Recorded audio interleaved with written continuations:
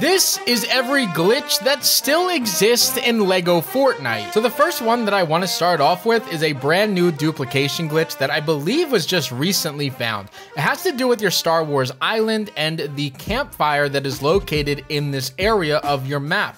If you guys didn't know, when it comes to that campfire that's in the Star Wars village, every single time that you break that and respawn in, it's going to go and spawn right back in the exact same place that it was previously, as it's 100% part of the Star Wars village and technically can't actually be destroyed. So now once I load back into that world, I am standing directly on the campfire that previously existed. And when I go into my inventory, I now have two wood and one torch. So I can break this again and now have double the amount of wood and double the amount of torches, all by duplicating duplicating this one campfire in the Star Wars area. I will say this is probably the second worst duplication glitch that's ever existed in the game behind the torch in the item post, but this is at least still something that exists in the game. Now, by far my favorite glitch that exists in the game right now is the infinite storm core and blast core glitch that exist inside of regular Dry Valley caves. So this does not work inside of the Star Wars ones, but you guys can find these pretty much in any cave in the game that has these blast core or these blast shells inside of it. Inside of this one room in particular, however, inside of seed number seven, this has six or seven total spawners in it that allows you to repeatedly jump attack these blast core shells and get yourself an unlimited amount of storm core and blast core in the process. The beautiful thing about this glitch or exploit or trick is that you can just continue to roam around this room or exit it and join back, and you'll continue to find new ones that spawn every single time. I also know that sometimes people give me a hard time about what I call glitches that they might be calling an exploit or simply a bug, but again, as I've said before, anything that gives the player a strong advantage that definitely was not intended to be in the game, in my opinion, is a glitch that I'm sure Epic is going to work on fixing at some point in time in the future. So this one right here, allowing you to have six or seven respawners for the blast core is definitely something that I see being a glitch in the game that they will definitely patch in the future, especially after seeing this video and truly how easy it is to get an unlimited amount of these things. Now this next one is kind of a two-in-one glitch, but we'll focus on this first part first.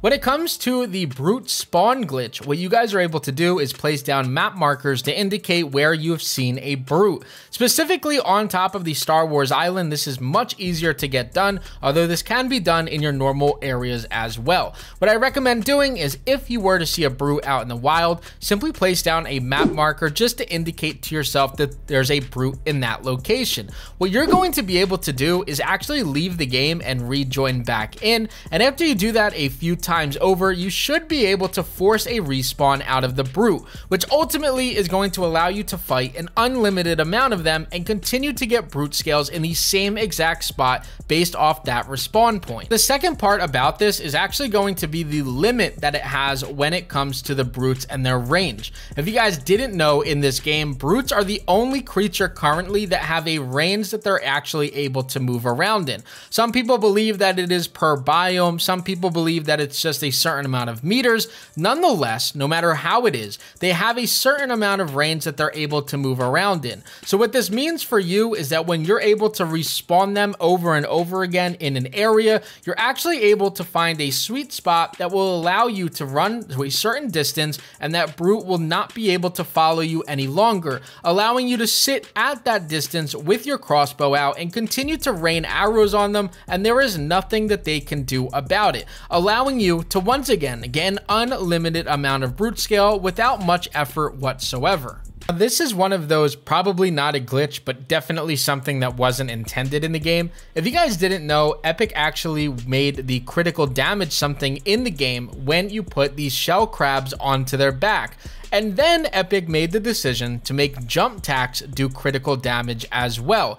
Critical damage is two times damage than what you would typically do. But if you guys didn't know, now when it comes to these shell crabs, if you put them on your back and then do a jumping attack Rather than doing two times critical damage, you now do four times critical damage. Now, I was honestly surprised on a recent video of mine that more people didn't realize that this was a thing in the game, but if you guys did not know, using a pickaxe on crabs is much better when it comes to doing damage and killing them a little bit faster. Inside of the dry valley, snow biome, and grasslands, when it comes to these shell crabs or the rollers, you're going to do more damage by using your pickaxe. Even with using the critical damage, it doesn't matter, it'll always do more damage than the sword, crossbow, or lightsaber. When it comes to the blast core or those blast shell blast rollers that are inside of the dry valley, using a pickaxe is much better. one of my favorite tricks or exploits to use in the game is using a pickaxe and my glider in order to do the pickaxe glider glitch. What this does is allows you to travel much further and even a little bit higher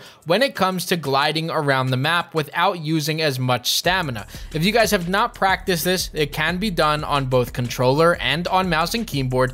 All that you need to do is deploy your glider, let go of your glider and swing your pickaxe. And while you're in the animation of swinging your pickaxe, pull your glider right back out and then repeat that little trick. What this is going to do is propel yourself forward with the pickaxe and then allow you to glide a little bit longer while not really moving much of that stamina bar with your glider. This does not work when it comes to using a sword, shovel, people forest axe, or any other weapon in the game. It is exclusive to the pickaxe, which is why I consider this a glitch, exploit, bug, whatever you guys want to call it. This is an issue in the game that they have not addressed and kind of just allowed us to have, which is really cool of them.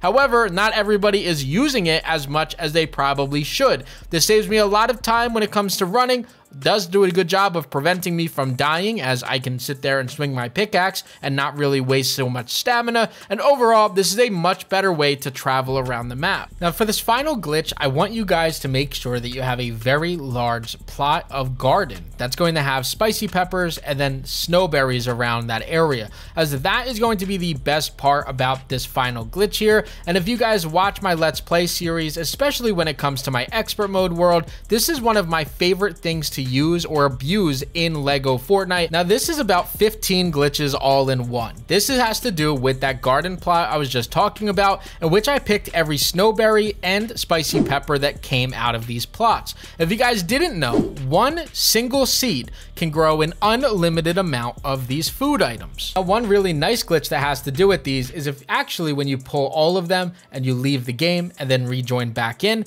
every single one of these garden plots are going to refill with that food item. Meaning if I were to pick every single spicy pepper and snowberry, leave and rejoin, all of them will regrow by the time I rejoin back in. Now the second part to this is actually pretty simple. What we're going to do is throw all of these peppers into the grain mill. So if I throw 15 spicy peppers into the grain mill, I'm going to get 30 seed back in return. I'm going to do that same exact thing with these snowberries. Those once again still duplicate back. So putting 20 26 of them in there isn't going to give me 26 seeds. It's actually going to give me 52 seeds. And taking those is actually going to be awesome for us to make a few different items. So now let's talk about the final three glitches that we're able to do now that we have 30 pepper seeds in our inventory.